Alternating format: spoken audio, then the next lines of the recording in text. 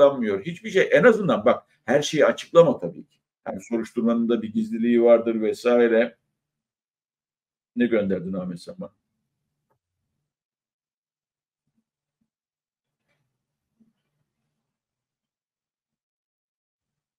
Ne? E, şey bilgileri mi?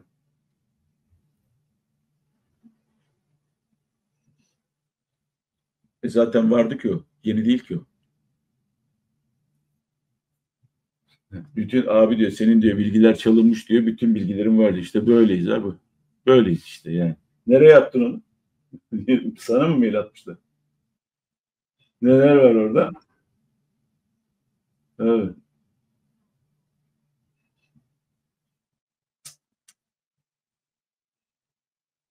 Allah Allah. Bak neler yapılmış ya. Ülkede güvenlik yok ya. Allah Allah. Her şey. Vay arkadaş bu mudur bu ülke ya?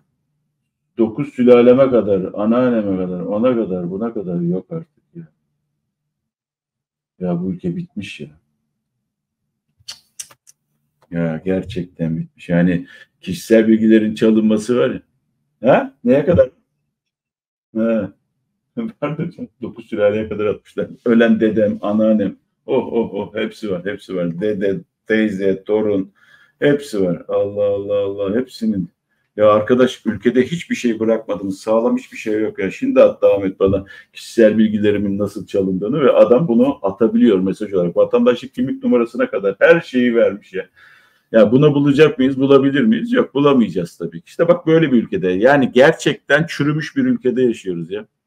Ve e, çürümüş bu ülkede benim çalındı. Şimdi Ahmet bana attı. Bütün bilgilerimi görüyorum şu anda. Çalan kişiler de e, şey yapmışlar zaten e, söyleyiver. Mesaj, mail atmışlar bir de utanmadan. Sizin de çalınabilir.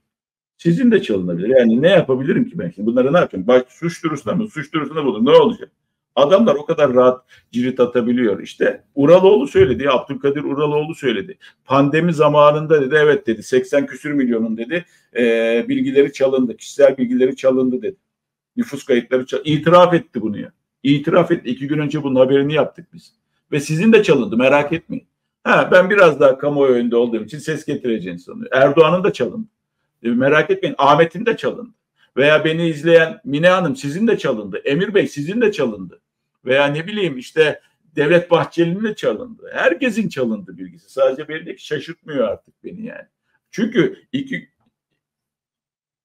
Hiçbir şey yok bunlarla ilgili. Utanmadan bir de e, İçişleri Bakanı, özür dilerim Ulaştırma Bakanı çıkıyor. E, bilgiler diyor ve şey e, pandemi zamanında diyor maalesef çalındı diyor. Daha sonra öyle bir medya işleyişi var ki ben salı günkü bültende verdim bunu. Salı günkü bültende e, medya işleyişini anlattım e, ekranda. Bu bakan bunu söylüyor. Ondan sonra gazeteciler bunu deşifre ediyor. Bakanın danışmanına gidiyor. Ulaştırma Bakanı'nın danışmanı diyor ki o çalındılar bölümünü çıkart. O çalındılar bölümünü attı. Milletin haberi olmasın. Al işte yani olmasa da işte oluyor. Bu şekilde yeni medya düzeni de böyle ülke çürümüş ya. Hepimiz çür. Yani çürümüşlük hepimizin içinde var artık. Ülkeyi çürüttünüz. Her şeyimiz her yerde. Ondan sonra da e-devlet çok kuvvetli. E-devlet bilmem ne bilmem ne bilmem. Peki nasıl çalındı bunlar? Nasıl açıklayacaksınız bunu? Rezil bir ülkede yaşıyoruz. Rezalet bir ülkede yaşıyoruz. Ülkeyi gerçekten çürümüşlüğe e, sürüklediniz. Çürüyor ya şu anda. Anket sorusunu hatırlatırsan e, Nermin demiş ki işin içinde yasak aşk var Fatih Bey. Narin bunu gördü demiş. Bu olabilir. Bu çok konuşulan bir iddiaydı. Bunu e, belki de açıklığa kavuşturacaklar önümüzdeki günlerde. Ülkede sorunların çözülebilmesi için yapılması gereken ilk şey ne olmalı diye bir soru sorduk. E, ve onun cevabını istiyoruz sizlerden. Bu ülkede kozmik odayı da açmışlardı. Yani kozmik odaya girdiler. Bana bir girmeyecekler yani. Fatih Bey gömleğiniz çok güzelmiş. Nereden aldınız? Türkiye'den aldım. İzmir'den aldım bu gömleği. Bir an önce defolup gitsinler demiş adam. Defolup gitmesinler. Sandıkta gitsinler ya. Yani sandıkta gerçekten yenilerek gitsinler ya. Ülkede elle tutulur hiçbir şey kalmadı arkadaşlar. Adam gibi işliyoruz veya gerçekten bu sistem güzel işliyor dediğimiz hiçbir şey yok ya. Sistemin adı sistemsizlik.